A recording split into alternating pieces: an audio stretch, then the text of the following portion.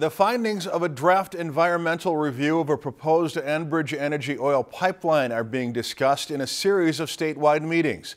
As Mel Meyer reports from Staples, community members there are using their voices to speak up about areas they feel could use more research.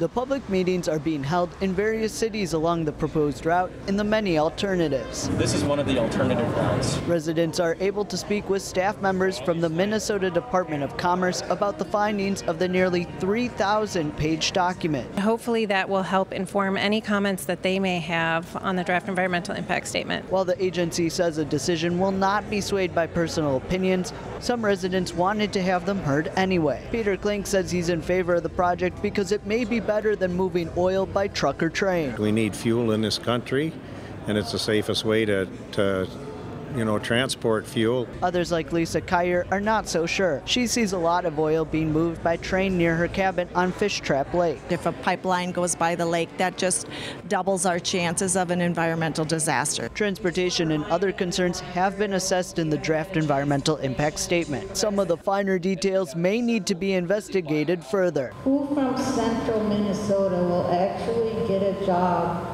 from this project. Nancy Tierhark wants staff to look at the impact of a potential spill on the Pineland Sands aquifer. There were seven spill study sites, but that was not one of them. And a more thorough analysis of different locations is needed. The Minnesota DOC will hold 10 more public meetings ending in Bemidji on June 22nd.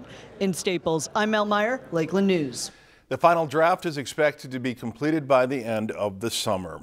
If you've enjoyed this segment of Lakeland News, please consider making a tax-deductible contribution to Lakeland Public Television.